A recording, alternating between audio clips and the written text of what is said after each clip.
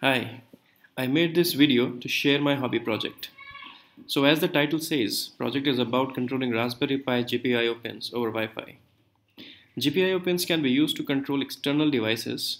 These external devices can be any home appliance. In other words, it is a simple way of achieving home automation.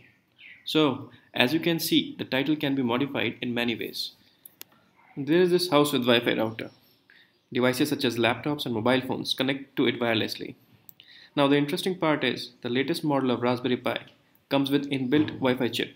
That means it too can connect to Wi-Fi router wirelessly.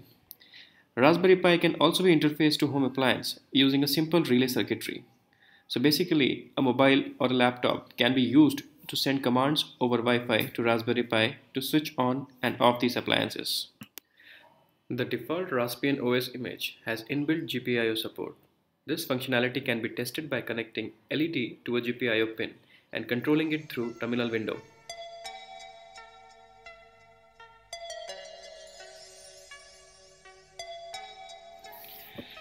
Now let's see how to connect up a relay. The red wire is live and the black one is neutral. Simply break the live wire and connect the two ends to either NO or NC contact of the relay. Connect up 5 volts and ground pins of the relay to respective pins of Raspberry Pi. Also, connect any one GPIO pin to the control pin of the relay. High and low voltages on the GPIO pin will make and break the connection of live wire. This eventually turns on or off the device connected to it. In a similar manner, we can connect more relays. Now let's take all of this and put it in a box. Do the wiring, give it nice finishing and lock it up. Also, give it some fancy name, say RPi box.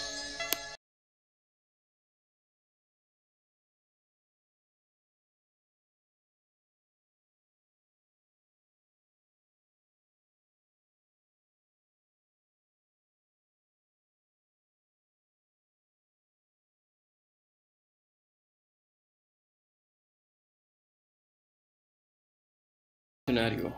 We have our RPi box up and running. Connected to Wi-Fi router, it has an IP address now. I have also installed Apache Web Server and PHP 5 in Raspberry Pi. Also, I have ported the custom PHP code in it, which will do the job of interacting with GPIO codes. Now, using a phone or laptop, open up any browser and type IP address of RPi box in URL.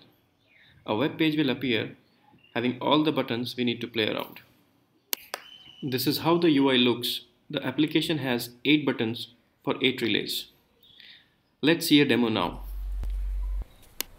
For demo purpose, I have taken 4 lamps and plugged them